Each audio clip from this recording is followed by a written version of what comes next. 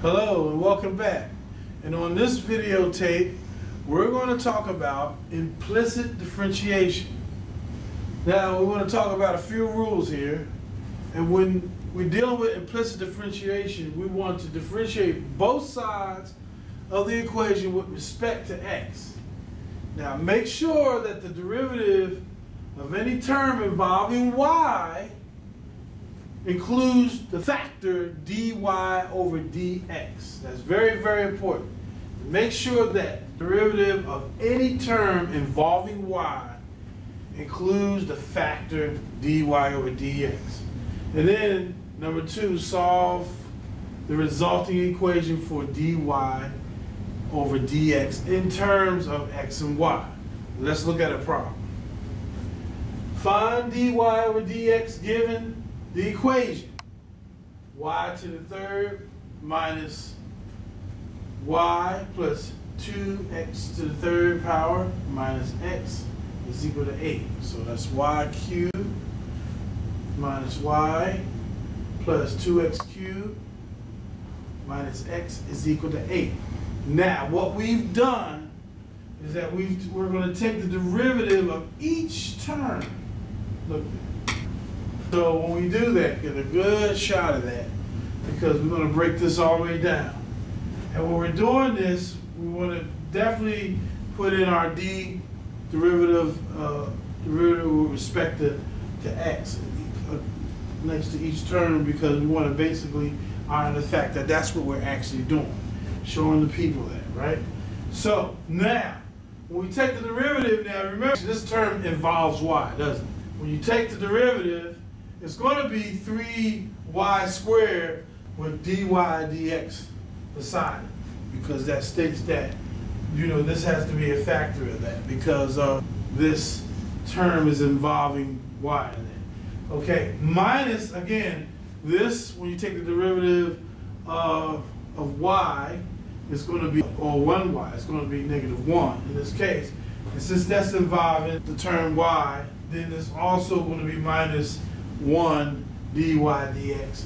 Plus, of course, this doesn't involve the term y, so it's just going to be 6x squared minus 1 is equal to 0, with the derivative of a constant being 0. So, with that in mind, you're going to factor out the dy over dx right here, because what we did was we moved the negative 1 to the other side of the equation. Because actually what's getting ready to happen is we're getting ready to solve for dy dx. Isolate that variable to, to get our solution. So in that process, we already got one negative one uh, moved to the other side of the equation to be positive one. So now we're going to start isolating. So we're going to take negative 6, we're going to take a negative 6x squared to both sides of this equation. And so when we do that, we're going to have 1 minus 6x squared on this side of the equation. But over here, we're going to have 3y squared minus 1 dy over dx. So when we do, we take this and rewrite this and put this up here. So look at this very closely. We're gonna we're gonna solve for dy dx here. And so what we can do is actually divide 3y squared minus 1 to both sides of the equation. And then we'll have, we have dy over dx isolated. So that's going to equal to 1 minus 6x squared divided by 3y squared minus 1. That is your solution for that problem. Let's do another one. As you can see here, we have another problem here. And it says find dy over dx, given that x and y is given by the equation here, and that when x equal to 1 and y is equal to 2. So basically what we're going to have to do is still what we have to solve by using implicit differentiation. Right? So what we'll do is we want to take this here and we want to take the derivative of x squared times y to the third plus the derivative of 6x squared is equal to the derivative of y plus the derivative with respect to x of 12. So here's what's going to happen. With this, we are going to have to use this thing called the product rule. Remember that? Remember that we, we talked about this in class. And so when we use the product rule, remember the basic expression, the function f times g prime plus g times f prime. So when we do that, we're going to take this and we're going to say, okay, this is going to be f and this is going to be g, basically, right? This is going to be f and this is going to be g. So we're actually going to take the derivative of g first. So we're going to pull out x squared times the derivative of y cubed. And then plus on this side, we're going to pull out g now. And then we're going to take the derivative of what? The function f right here in this case. Plus we still have the derivative of 6x squared and is equal to, we have everything set up ready to, to go. However, let's go ahead to the second line finding the derivative of the terms. So here this is going to be x squared times 3y squared dy over dx because this here involves the variable y, so we want to use this factor dy over dx plus y cubed times 2x plus the derivative of a 6x squared is going to be 12x is equal to what? Derivative of y right here, which is 1 dy plus the derivative of a constant is 0. So here, putting everything together, simplifying everything, and basically preparing to plug in or say substitute these values in for x and y here. So here's our expression here. And so from there, we're going to plug in x and, y, uh, x and y into the appropriate parts of the equation. When we do that, we're going to come up with 12 dy over dx plus 16 plus 12 is equal to what? dy over dx. So now we still have to solve for dy over dx.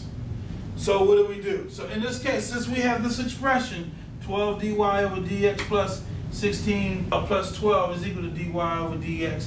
Here we have 12 dy dx plus 16 plus 12 is 28 is equal to what? dy over dx. So what we do right here, we definitely can solve comfortably for dy over dx. And then how we do that? We're going to take negative 12 dy dx to both sides. So when we take this to both sides, we're left with here on this side of the equation, 28 is equal to negative 11 dy over dx. So now we can divide by what? Or multiply 1 over negative 11 and multiply this to both sides of the equation. Here we have dy over dx is equal to what? Negative 28 over 11. So that is our solution for that particular problem. Let's do one more here. We want to find dy dx given the equation x squared plus y squared is equal to 16. Right now, we didn't really mention it too much earlier, but you know dy over dx is still considered, can also be understood as y prime as well. In some textbooks, they have instead of dy over dx, they have y prime. That's okay. So what we want to do is take the derivative of each of these terms right here, as you see, as understood right here. And so when we do that, that's going to be 2x plus 2y dy over dx. You know why?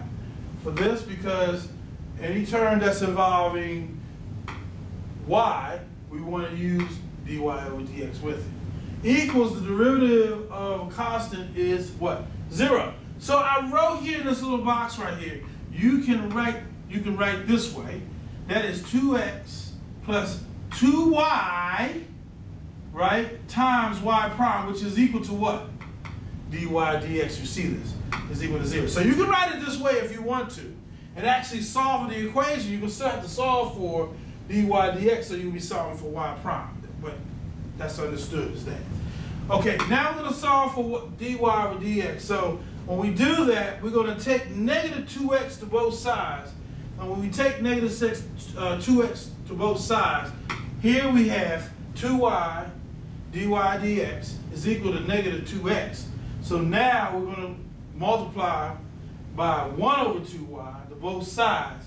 And when we do that, we end up with this expression here, dy over dx is equal to negative x over y because the, you know, 2 divided by 2 is 1.